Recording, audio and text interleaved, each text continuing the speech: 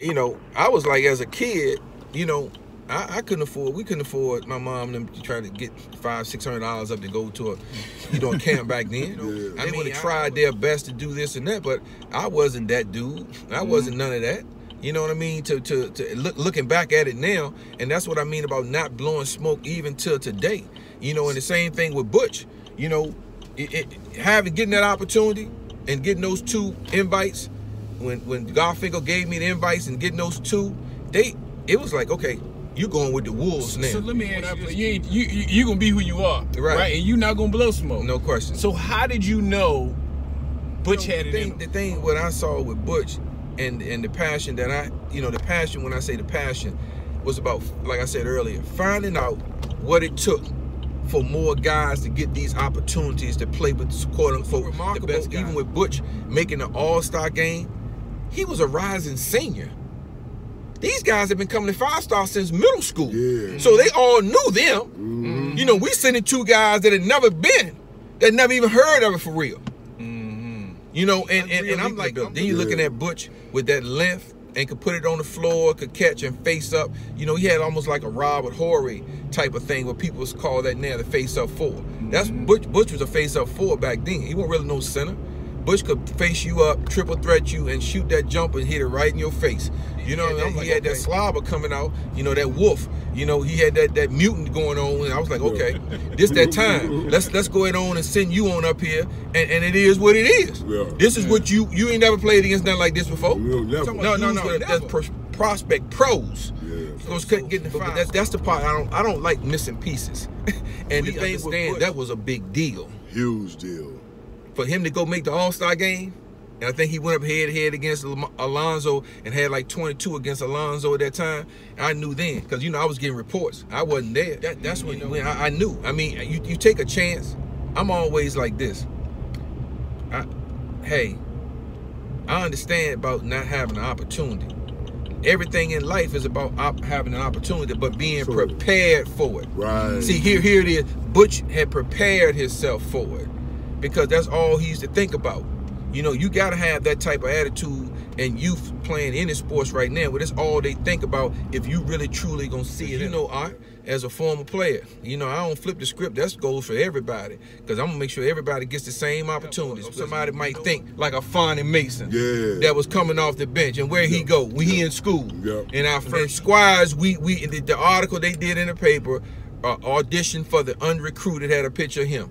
And finally had an opportunity to go to a junior college out in Eastern Smith, Wyoming Ricky Smith, with Ricky Smith. yeah. Right, rest in peace, our guy Ricky Smith. All of them out in Eastern Eastern Wyoming. It didn't matter where it was. I'm looking for. I'm gonna send you somewhere. You got people in the head going somewhere where they got rattle roast. Yeah. From a kid from from the city, from Yeah. from one of our areas, going out somewhere where they doing rattle roast. He calling back because he freaked out. He trying to run and hide somewhere. Everybody grinning and smiling, waiting for that rattle to get on that grill Yeah. and throw some teriyaki sauce on them and Yeah. turn them up. really, really a life changing experience, Yeah, man. absolutely. I mean, like T said, it don't matter what school you go to, man.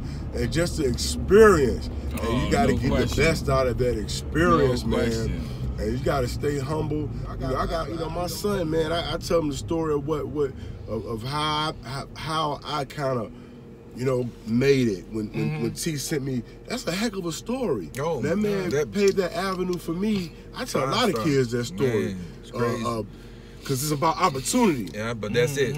You get an opportunity, and you gotta stay true to yourself and true to what you love. It could be a science fair. Mm-hmm. If somebody give you the opportunity, and you Man. can't get to that science fair, and this science fair, it may put you on a map per se. Or And I think that's the real meaning of equality. You want you want a chance, not charity. yeah, Yes. you, You want know? a chance. And the line that we still use to this day, be that we use over this summer.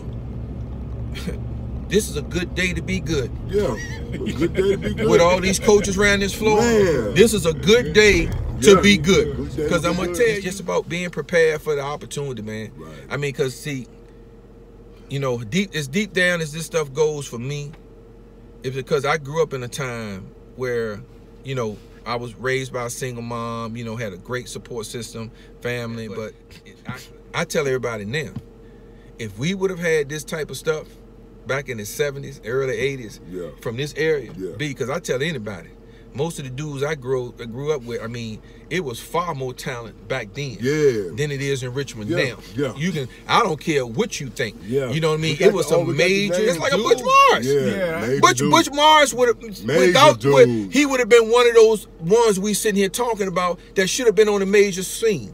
Here we got then we you know he go to five star then we do the first year AAU and then one of our terms against Lonzo Mourning again. And, and see, most people see Alonzo and, and, and be, be going up in a shell. Butch was like, oh, I can't wait. Cause I got I played against Alonzo this summer. Yeah. So the fear factor was over. I can play with you. Yeah. Mm-hmm. Yeah. You know, from our opportunity. Yep. From an See, opportunity. you have man. to do this, man. You know, one thing that's that's so messed up about what's going on now, where they're cutting down the live, you know, the shoe company only events, you know, and, and a lot of people don't get an opportunity to go to those events if they're not on one of those teams, and and and we missing we missing it, we missing it because those events are just like for a Butch Morris. You know, we would have started out back then as a AAU program, and and and we couldn't have got in because we weren't sponsored. Then you talk about guys like that might have been missed if it wasn't for other avenues that I was doing. Yeah. Mm-hmm. But that that's a prime example. That's what you're getting ready to do now. Even though we know so many more people now getting this sponsorship stuff, and you know, you got to have these players, you know, all this other stuff that's going on. But you know, the reality of it is, you still gonna have people that's gonna be able to play. Like we're we're we're we're non-sponsored now, but I started non-sponsored. You know, Yeah. we getting we getting uniforms and T-shirts, and we getting a friend of mine from high school go to A and N and donate me 15 pairs of shorts. Then I get a guy from work to donate me some T-shirts. We put some numbers on them. Yeah. And Yeah. we went out there and played the Yeah. first year AAU. Yeah. You know what I mean? I don't know nothing about none of this stuff. I ain't had nobody to talk to because I'm the first. I'm going on just fate and trying to make something happen with nothing. Yeah. You know what I mean? But my whole point is we were non-sponsored, then we became sponsored. That put us at a totally different level. The other part of that thing was, you know, I had the twins, Simeon and Sammy Haley, mm-hmm. before I was sponsored. Then I had Ray Allen and Mike Minifield come down and play Squires before I was sponsored. And then Kevin Garnett started playing with us through Ray introducing me to Kevin. And we were non-sponsored.